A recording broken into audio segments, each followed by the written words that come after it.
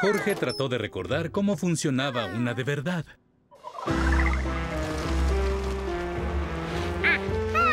Pues claro, si la pala estaba hacia arriba, las cosas no se caían.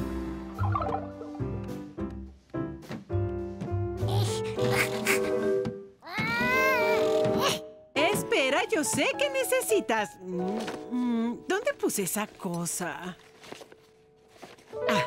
Aquí está. Nunca salgas de casa sin una llave inglesa. Mm, y también traigo pepinillos.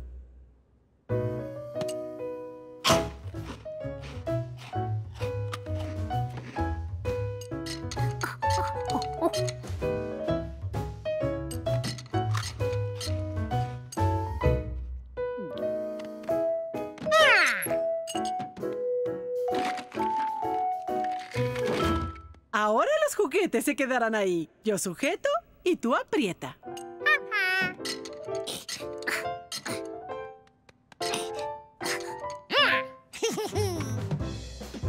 La pala cargadora ya funcionaba. Excepto por algo. Que no podía levantar los juguetes. Y volvió a pensar cómo era una verdadera. La pala tenía que tener juego.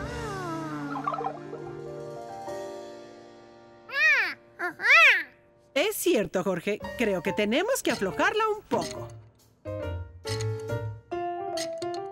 La pala se movería. Ahora la levantaría. Eso no funcionó, pero ya sabemos cuál es el problema. Sabía que tía Silvia tenía razón. Necesitaban hacer que la pala tuviera juego.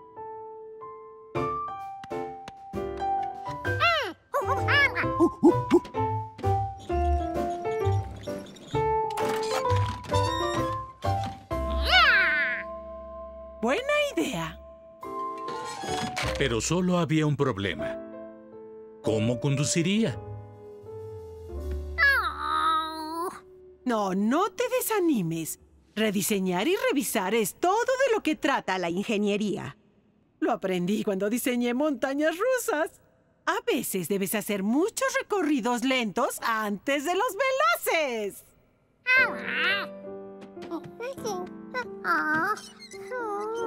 ¿Qué más podía usar para controlar la pala?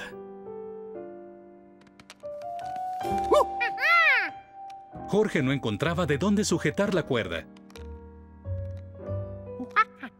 Eso no es problema. Por suerte traigo a Sheila.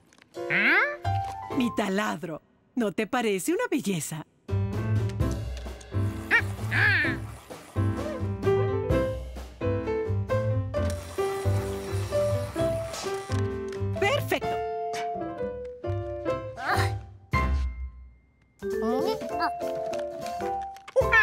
Ahora veamos si funciona.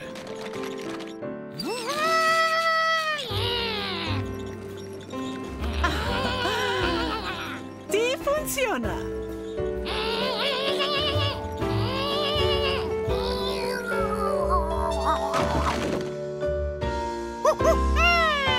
Estupendo. Oh, la reparaste. Se la encargaré a mis diseñadores de juguetes. Oigan, ¿les importa si uso este como ejemplo? Adelante, hágalo.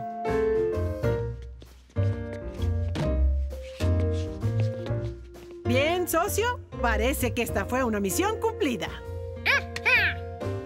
Al poco tiempo, Jorge recibió su pala cargadora y funcionaba de maravilla. ¿Así? ¿Así? Acércala. Su trabajo era solo un pequeño paso para un mono y su tía, Y ahí está. Buen trabajo, Jorge.